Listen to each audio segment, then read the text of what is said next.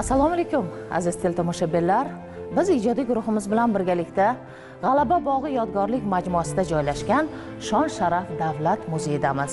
Bu yerda ikkinchi jahon urushiga oid ko'plab ma'lumotlar urushning fojialari hamda o'zbek xalqining qahramonligi haqida ko'plab ekspozitsiyalar joylashgan. Shular qatorida yaqindagina yana bir ekspozitsiya ochildiki bu general andersga bag'ishlangan. Xo'sh o'zbekistonni general anders bilan qanday bog'liqlik tomoni bor deb o'ylarsiz? Biz bugun ana shu haqida olimlar tadqiqotchilar bilan suhbatlashib sizga havola etish niyatimiz bor. Demak efirda manbalar so'zlaganda ko'rsatuvi marhamat tomosha qiling. O'zbekiston bilan polsha e, davlatni o'rtasida e, bitta hamdo'stlik o'tgandan keyin yigirma oltinchi noyabr kuni ikki ming yigirma birinchi yili mana e, shu general andersga atagan vitrina ochdik. Bizlarni davlat muzeyimiz shon sharaf davlat muzeyimizda memorandumdan keyin bu narsa bo'ldi. Endi to'g'ri ikkinchi jahon urushi muzeyi gdansk shahrida bor. Shu muzey direktori bu yoqqa kelib o'zimizni e, o'zbekistonda polsha elchisi bilan birgalikda ochildik. Mana shu andresga ko'rsatgan vitrina ichida ular tarixi kitoblar hammasini ko'rsatilgan. E, man aytmoqchimanki endi ikkinchi jahon urushi e, muzeyida gdans shahridagi muzeyda bizlarni ham qahramonlarimizni ham shunaqa ochish vitrinasi ko'zga ko'rikkan bular hammasi o'rta osiyoga yuborilgan bo'lgan. Yangiyo'l shahrida to'qson mingtadan ortiq armiya tuzgan bo'lgan. Qo'mondonlik bir tuzumi bo'lganda shu qo'mondon e, tuzumga bular e, jamlab shu e, fashizmga kurash qilish uchun chiqqan bular. Shuning uchun o'zbekiston aholisi o'zbekiston xalqi yordam bergan ovqat bilan yordam bergan kiyim kechak bergan ularga yosh bolalari bo'lgan oilali bo'lgan shu polshani ichida aholi ham qo'shilgan. Prezidentimizning 2019 yil 20 sentyabrdagi o'zbekiston respublikasida arxiv ishi va ish yuritishni takomillashtirish tadbirlari to'g'risidagi farmoniga muvofiq o'rnatilgan tartibda maxfiylikdan chiqarish bo'yicha choralar aynan general anders armiyasining hujjatlarini ham o'rganish imkonini berdi va polsha respublikasi elchixonasi bilan o'zbekiston milliy arxivi o'rtasida memorandum imzolandi. Ushbu munosabat bilan esa yurtimizga polsha respublikasidan olimlar kela boshladi. O'rganishlarimizning debochasi o'zbekistonda boshlandi biz shon sharaf muzeyi va o'zbekiston milliy arxivi bilan memorandum imzoladik o'ylaymanki o'zbek olimlari bu tarixni o'rganishda polyak olimlariga yaqindan ko'mak berishadi jumladan biz ham gdansk shahridagi ikkinchi jahon urushi muzeyida saqlanayotgan hujjatlarni o'zbek olimlariga o'rganish uchun taqdim qilamiz albatta o'zbek xalqining katta yordami yordami tufayli andersning armiyasi yevropani fashizmdan ozod etishda o'z hissasini qo'shdi deb bemalol ayta olaman. они потом освобождали Италию и как герои вели себя в освобождении всего европейского континента. bugungi kunda general andersning o'zbekistondagi faoliyati yetarlicha o'rganilmagan. Sababi bu tarix ham maxfiylikka tashlangan polshani fashistlar bosib olgach polsha armiyasi va aholisi ham sovet lagerlarida ham fashistlar konslagerlariga tushishadi. Katta armiya hamda tirik qolgan polyak aholisini boqish sovetlarga malol keladi. Germaniya bilan sovet ittifoqining tashqi ishlar vazirligining o'rtasidagi kelishim ribbentrop va molotov o'rtasidagi kelishma deb tarixda atama bilan ataladigan e, voqea sodir bo'lgandan keyin e, bosib olingan to'proqlardan e, haydalgan surgun qilingan deportatsiya qilingan butun sovet ittifoqining eng haligi katta endi konslagerlarda e, arxipelag gulag degan mana bu soljenitsinni aytib ketgan gulag degani государственное управление лагерей degan e, majmuaga qarashli turmalarda zonalarda polyaklar e, askarlari oilalari tinch aholi surgun qilingan edi. Keyin buyuk britaniyada joylashgan sovet ittifoqining elchisi mayskiy va e, vaqtinchalik o'sha quvg'indagi e, polsha respublikasining hukumatining boshlig'i sikorskiy bilan bo'lgan e, anglashmadan keyin sovetlar ittifoqining tuprog'ida polyak armiyasini qurish va polyaklarni o'sha turmalarda qamoqxonalarda sibirlarda e, qiynalib yurgan polyaklarni hammasini yig'ib armiya tuzish masalasini ko'rib chiqiladi va sikorskiyning o'zi e, moskvaga keladi kremlda stalin bilan ko'rishadi. O'sha o'ttiz to'qqizinchi yili qo'lga olingan e, ofitserlarni qatin degan joyda bir ming to'qqiz yuz o'ttiz to'qqizinchi yili qirg'in qilingan. Va shulardan tirik qolgan e, ayrimlardan biri general vladislav albert anders degan shaxs e, mana shu sovet ittifoqining hududida e, polyak armiyasini tashkil qilishda birinchi tashabbuskorlardan biri bo'lib hisoblanadi.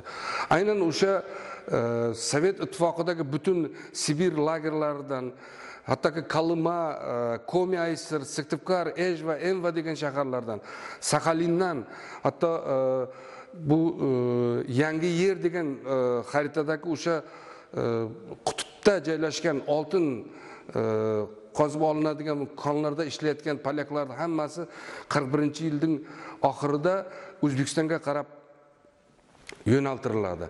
Va butun sovetlar ittifoqidagi e, polyaklar e, ozod qilinadi. Va armiyaga yaroqli bo'lgan armiyaga yordam berishga yaroqli bo'lganlar hammasi o'zbekistonga oqib kela boshlaydi.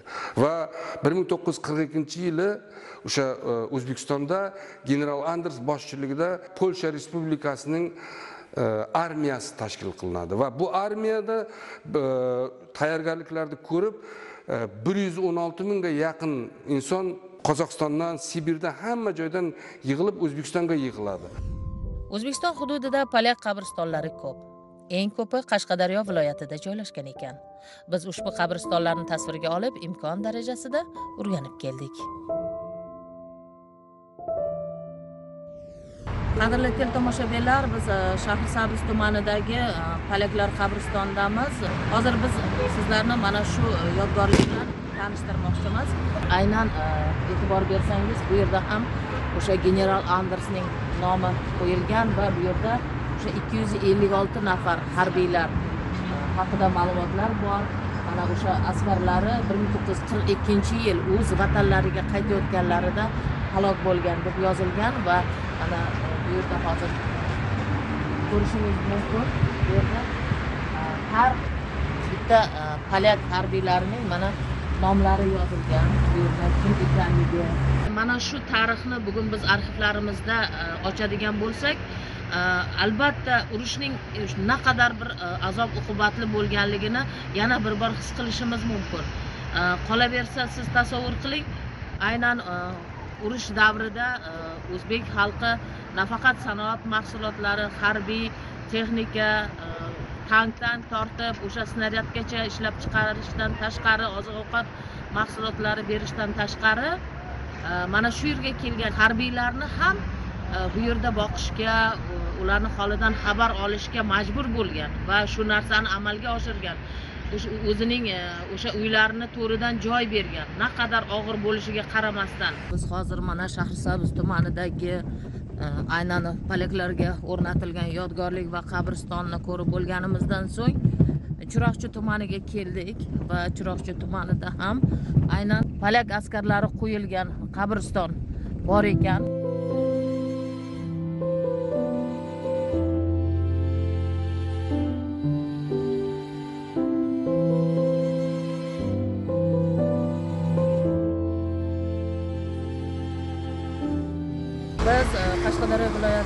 G'uzor tumaniga keldik. Hozir e'tiboringizga mana shu qabriston mana shu yodgorlikni e, havola etamiz eng katta o'sha asosiy yodgorlikni ya'ni polsha tomonidan o'rnatilgan yodgorlik bu yerda ham qo'yilgan. Oq burgut tasviri bu yerda ham bor va albatta bu yerda ham e, bir ming to'qqiz yuz qirq ikkinchi yil mana e, o'sha general andersning askarlari haqidagi ma'lumotlar bu yerda saqlanib qolgan. Ko'rsangiz bu yerda e, vafot etgan o'sha harbiylar va oddiy fuqarolarning mana ko'plab familiyalari ham bu yerda yozib qo'yilgan demak bu yerda bolalarni ham qabrlari bor. ha shularni. Ana yoqda yashagan. Noriston o'sha yerda yashagan qabristonni berdi biz hozir bitta narsaga e'tibor qildik. Haqiqatdan ham e, g'uzorni qabristoni yodgorligi juda katta bu yerda. Va odam soni ham bu yerda katta ekan. Ha boshqa joylarda ikki yuz ellik oltita shularga e'tibor berdik. Eng kattasi shu yerda ekan. Bir gektar pasht eng qizig'i o'sha davrda e, polshani ozod qilish uchun bir milliondan oshiq sovet askarlari ham borgan ularni ichida o'zbeklar ham bor ekan. Albatta albatta. Biz e, xudo xohlasa ana shu o'zbeklarni nomma nom topib e, polshada ham ha. bir shunday hamkorlikda shunday bir film qilmoqchimizda bugungi kunda tarixchi publitsist shuhrat salomov aynan general anders armiyasining o'zbekistondagi faoliyati tarixiga oid manbalarni o'rganmoqda yangidan yangi manbalar topilmoqdaki bu polyak olimlarini ham hayratga solmoqda. O'zbekistondagi polsha respublikasining elchixonasining mutasaddilari e, o'zbekiston milliy arxivi va o'zbekiston e, tumanlaridagi arxivlardagi polyaklar haqidagi ma'lumotlarni yig'yapti va Э, xudo xohlasa o'shalar haqida bir jurnalistik tadqiqotlar va ilmiy ishlar o'rtaga chiqib э, bizning xalqimiz mana shu yerda polyak э, fuqarolarning e, begunoh o'ldirilganligi va bu yerda azoblar ko'rganligi. Chunki bu yerga kelgandan keyin u sibirdan orttirib kelgan kasalliklari bilan bu yerda issiq o'lkaga kelib jon saqlagan. O'sha e, arxiv hujjatlarida mahalliy xalq bilan bo'lgan munosabatlari mahalliy xalqning bu e, o'sha deportatsiya qilingan surgun qilingan va qamoqda o'tirgan polyaklarni sog'ligini asrash va oziq ovqatini ta'minlash haqida bir nechta e, qarorlar chiqarilgan va kolxozlar savxozlar buni ustida ko'p ishlagan keyinchalik general andersning askari chiqib ketgandan keyin e, qariyb bir yuz ellik mingga yaqin polyak bu yerdan chiqib ketadi. Lekin e, yosh bolalar yo'lga yaroqsiz bo'lganlar o'zbekistonda qolgan. Shu qirq beshinchi qirq to'rtinchi yillarda samarqandda farg'ona vodiysida xorazmda keyin qashqadaryo viloyatida surxondaryoda ko'plagan e, joylarda e, polyaklarning diddomlari ya'ni e, internatlari yetimxonalar va bolalar uyi tashkil qilinadi. Polyak maktablari tashkil qilinadi va e, bu yerdagi e, yashayotgan polyaklarimiz o'zbekiston respublikasi to'liq integratsiya qilingan bir xalq bo'lib hisoblanadi va bu yerda o'zbekistonni rivoji uchun juda katta hissa qo'shgan olimlar e, injenerlar o'qituvchilar ustalar juda ko'p polyak xalqidan. Urushning eng katta zalvorli yuki baribir bizning xalqimizga tushgan. O'sha davrda hamma narsa frontga jo'natilar. Front ortida esa kasalmand nogironlar ayollar va bolalar qolishgan bo'lib xalq ochlik azoblarini ham ko'rayotgan edi. Siz ko'rayotgan qabr toshlardagi yozuvlarda bolalar ayollar o'spirinlar yoshi ko'rsatilgan. Xalqimiz qatori ular ham og'ir sharoitda yashab kasallik va boshqa sabablar tufayli olamdan o'tishgan. Ammo oxirgi yeguligini ham bo'lishib yeydigan o'zbek xalqi polyak armiyasi va xalqiga har tomonlama yordam berganki bu voqealarni polyaklar o'z kundaliklarida yozib qoldirgan. Hozirgi kungacha mana shu polsha bilan bo'lgan munosabatda aynan mana shu o'zbekistonning o'sha ikkinchi dunyo urushi davrida polyak xalqiga ko'rsatgan mehribonligi. Undan keyin e, aslida o'zi o'zbekistonda bir yarim millionga yaqin qochqin e, boshpana topgan. Shulardan endi ba'zi bir ma'lumotlarga ko'ra olti yuz mingga yaqini yosh bolalar bo'lgan deydi. Aynan o'sha davrlarda bir ming to'qqiz yuz o'ttiz yettinchi o'ttiz sakkizinchi yillarda o'zbekistonda o'zida repressiya avjiga chiqqan davrlar edi. E, o'zlari mana o'zbekistonda ikki millionga yaqin inson ikkinchi jahon urushiga ketdi. Va e, qanchadan qancha azoblar qanchadan qancha bu yerdagi yo'qchiliklar hamma narsa frontga deb ketayotgan paytda yana o'ziga bir yarim million qochqinni qabul qilib olish unga mehr ko'rsatish ularni bolalarini tarbiyalash jonini omon qolish o'zbek xalqining tarixdagi izini o'zining e, e, xarakterini ya'ni o'zbek xalqining o'tmishida shunday qora kunlarda boshqa xalqqa umuman dini ham tili ham to'g'ri kelmasa ham insoniylik fazilatlari bilan shularni omon saqlab qolgani uchun mana hozir polsha respublikasining elchisi keyin e, bu yerdagi polsha diasporasi bir qandaydir xush ko'rish bilan bir mehr bilan tilga oladi bularni. O'zbekiston va polsha munosabatlari yangi bosqichga ko'tarilmoqda. Mehnatsevarlik ishbilarmonlik o'zbek va polyak xalqlariga xos jihat hisoblanadi. Ayniqsa bog'dorchilik sohasiga qiziqish bu ikki xalqni chambarchas bog'laydi. Bugun polshadan keltirilgan ko'plab ko'chatlardan olinayotgan hosillar buning yaqqol misolidir.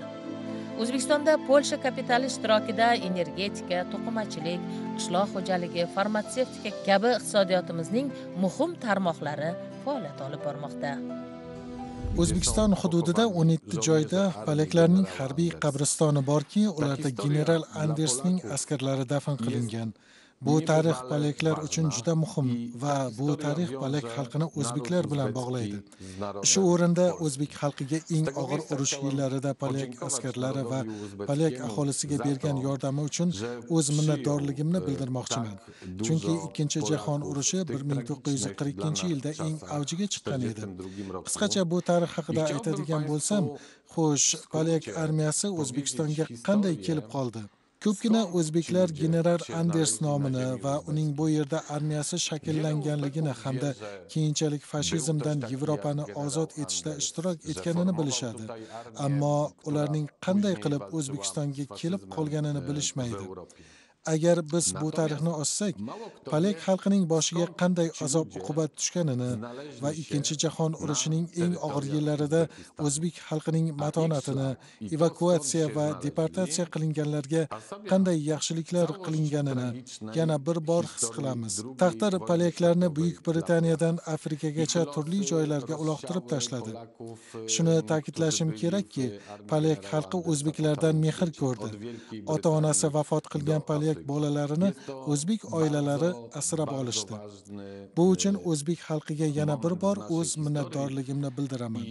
o'zbeklar nafaqat polyak armiyasiga balki polyak aholisiga ham katta yordam ko'rsatib o'z uylaridan joy berdi. Nonini bo'lishib yedi. Bu yil general anders armiyasi shakllanganining 80 yilligi o'zbekistonda ham nishonlanishi rejalashtirilgan bu ikki xalqni nafaqat iqtisodiy hamkorlik birlashtiradi balki qishloq xo'jaligida ham hamkorligimiz e'tiborga loyiq. chunki polaklar ham o'zbeklar kabi dehqonchilik va bog'dorchilikka mehr qo'ygan xalq. men bunga hali elchi bo'lmasimdan avval turist va mehmon sifatida samarqand buxoro toshkentga sayohat qilganimda amin bo'lganman. Polyak xalqi ham sizlar kabi yer bilan chambarchas asrlar davomida bog'lanib kelib o'zlari yetishtirgan ko'chatlari bilan faxrlanib kelishadi. Ayniqsa polaklar yetishtirgan olmaning turli navlari dunyoga mashhur. O'zbekistonda ko'plab polyak olma navlari ekilganki biz kelajakda yanada bu soha bo'yicha hamkorligimizni rivojlantiramiz. Men o'zimni dunyoning hamma yerida xuddi o'zbekistonda yurgandek erkin his qilishimni juda istayman. Hammangizga rahmat yurtimizda bir yuz o'ttizdan ziyod millat va elatlar yashaydi. Ular turli sohalarda faoliyat olib borib o'zbekiston taraqqiyotiga hissa qo'shmoqdalar. Bag'rikeng o'zbek xalqi polaklar bilan ham do'stlik va birdamlik aloqalarini qadrlab keladi. Har yili esa urush tufayli vafot etgan ota bobolarini qabrlarini ziyorat qilish uchun minglab polaklar yurtimizga kelishadi. Har xil viloyatlarning Э, э, turli tumanlarida joylashgan polyak qabristonliklari polsha tomonidan yaxshi e, e'tiborga olingan va o'zbekiston respublikasining qonuni bilan himoyalanadi va o'zbekiston respublikasining mutasaddilarining e'tiborida bo'lgan o'sha polyak qabristonlari hozirgi kunda ham e, ahvoli bir obodonlashtirilgan va e, chiroyli bir shaklda saqlanib turibdi o'zbekistonda. Xususan o'zbekiston respublikasida xizmat ko'rsatayotgan polsha respublikasining elchixonasining xodimlari davomli o'zbekistondagi xalq bilan irtibotda va o'zining ishini davom etyapti. Shu o'rinda bir gap. Ko'pchiligimiz o'zbek generali sobir rahimovning polshani ozod etishda ishtirok etib gdansk shahrida halok bo'lganligini bilmas ekanmiz. Polshada sobir rahimovga haykal o'rnatilib ko'cha nomlari berilgan. Bu haqda esa keyingi ko'rsatuvlarimizda hikoya qilamiz. Qadrli teltomoshabinlar agarda siz bu muzeyga kelmagan bo'lsangiz albatta keling. Chunki urushning haqiqiy fojiasini bu yerdagi manbalarni hujjatlarni ko'rib his qilasiz.